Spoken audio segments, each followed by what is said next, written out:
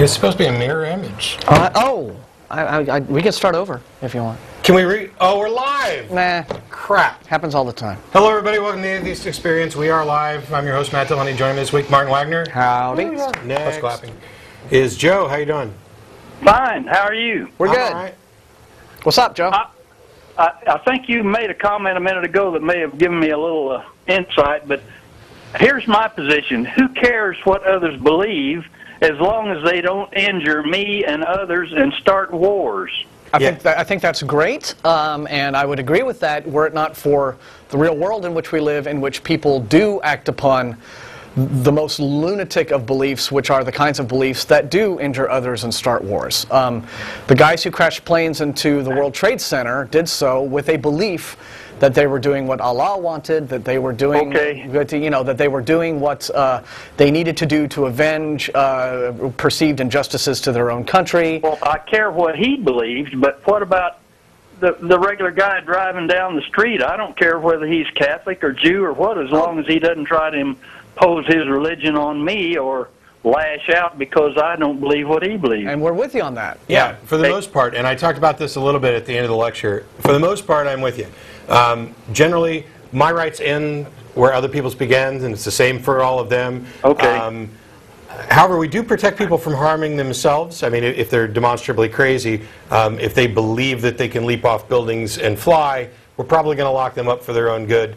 Um, And taking little children to church is like teaching them the Grimm's fairy tales. Uh, Yeah, the thing is that, and th- this is one of the points that I made, beliefs are important for two reasons. One, they inform your actions. Okay. And two, they inform your future beliefs. If you, because there's a process your brain goes through in deciding whether or not something is true, whether or not you accept it. And if you begin to accept things that aren't true for bad reasons, you're more likely to accept other things that aren't true for bad But it- reasons. You get off the track and open the Uh, doors yeah. to a lot of other nonsense. Right. So while I respect everybody's right to believe as their conscience dictates, and how could we do otherwise? We can't can't really uh, uh, you know mandate what somebody believes. Um, I'm still. It's like it's like people ask if we're call, if we're trying to deconvert people. Um, that's not a prime objective of the show. I'm happy. Understand. I'm happy when and if it happens because I'd rather live in a world where everybody embraced reality and that we can come to kind of you know common understanding of, of that shared reality. But you're Well, right. I mean, went, for, I'm sorry. I went from Presbyterian to Unitarian to Hitchens. okay. Th- those are my. That's my religious transformation. There you go. Just sort of dr- follow that path. Yeah. Uh, well, I think, What you do know, you mean, little joke? No. Now, in as much, you know, in as much as I think with, y- yeah, the average person where their beliefs are fundamentally benign, uh, it's all right. But then there are, there are different also degrees of harm, right? Agreed. For example, um, that presumably benign guy who, the benign Presbyterian who is just uh, driving down, uh, you know, the freeway next to you, minding his own business, may at the same time be the sort of person who would cast his votes at the ballot in favor, for example, of educational policies that, you know, inappropriately introduced religion into science curriculum, that sort Well, he of thing. He could be a Ku Klux Klaner without a hood. You could, uh, or, but, well, that's even that's a, a higher degree of you know malignity. But uh, you know, but but even to I'm a certain sorry. degree, uh, people who have you know ostensibly really really benign beliefs might still do you know, or, or act upon those beliefs in ways that they might not recognize or that might not be obviously uh, They're harmful. potentially dangerous to society and don't even know it. Yeah. And- and, and other people may not even realize it. And I, and, and I think so that's why it's important to have, for example, shows like ours where these things are discussed.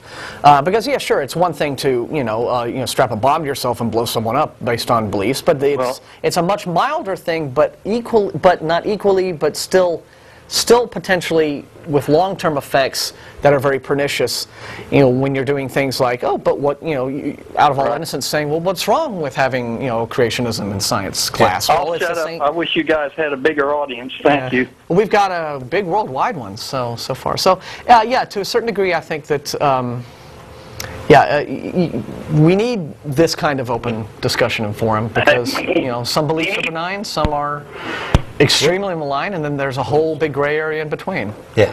That's uh, You know, I mean, and, and, and what Joe called in and talked about was, you know, somebody's beliefs are irrelevant as long as their actions are sane. And, and I guess I'd say that you can't really separate the two. no. Um, your beliefs matter. I, I, I wish, I really wish it was possible, um, you know, to just not worry at all about what other people believe. Um, but We can't do that because we're people social to, species. people We're, are going to, yeah, we're, we're forced to live together. we're always interacting. Um, and what you do affects me in ways that you don't know, and what I do affects you in ways that I probably don't realize. and we've already had.